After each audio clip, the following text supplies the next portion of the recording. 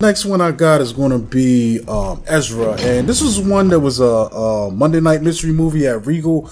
Uh, I was telling you earlier, I had no intention to see this. If it if it popped on my radar, I probably wouldn't have went out of my way to go check this out unless I got really good advanced buzz. Um, but this is a family drama, and in this film, divorced stand-up comedian Max Bernal struggles to raise his autistic son Ezra and forced to confront difficult decisions about the boy's future, Max and Ezra embark on a cross-country road trip that has a transcendent impact on both of their lives. This is directed by Tony um, Goldwyn and stars Bobby Cannavale as our um, concerned dad. We get Robert De Niro. He's the grandpops in here. Uh, Tony Goldwyn, also the director, stars in this as um, um, our main guy's um, ex-wife's husband. we also get Rose Byrne, who plays the the ex-wife. Uh, William Fitzgerald is in there as the kid Ezra. Uh, Vera Farmiga pops up in here, as well as uh, Geoffrey Owens. And I had a really good time with this film, man. This is probably one of the best things that I saw um, this year so far. And um, what I thought was really great about it is it's equally poignant as it is funny, man. Cause, um, you know, he's a stand-up comedian. So we do get a lot of him just being out and about in the world and doing his comedy, comedy stuff. Um, we get a few, um, club scenes too, where he's doing some sets, you know, and, um, and the, the drama is really strong, man. Like, like the, the, the, um, concerns that are going on, like it's, it feels real. It's really grounded, you know, um, and really entertaining. And I love the fact that we get so much um, with Ezra, man. Um, you know, played by William Fitzgerald in here, and um, you kind of get the um, a real good sense of what you know, uh, you know,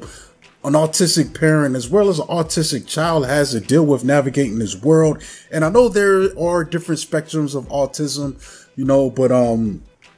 Ezra, he's very functional in here, but he does have his quirks and things that you know that that that bother him. But for the most part he's he's able to you know go out and about in the world and express himself. And um i guess the, one of the concerns is you know they're trying to send him to a special school.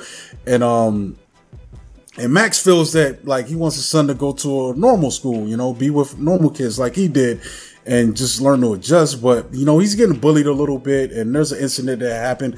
But it all culminates in, you know, a desperate measure. Max gets a call, the chance to be on Kimmel, which most comedians are looking for that shot, man. That's one of them things that can get you to the next level, get you in the film and stuff like that. Most professional comedians who've been in the game at, for any length of time end up on one of the late, late night shows. You know, it's always a good look. I mean, I remember, uh, shout out to, uh, um, Steve, uh, Mazan and, and, and uh, yeah, yeah yeah, what, what was the uh, documentary called? Dying, dying to, to do um, Kimmel. I mean, dying, dying, to do Letterman. Dying to do yeah. Letterman. Yeah, and, and he tells a story about his, you know, um, struggle to try to, you know, get on um, Letterman.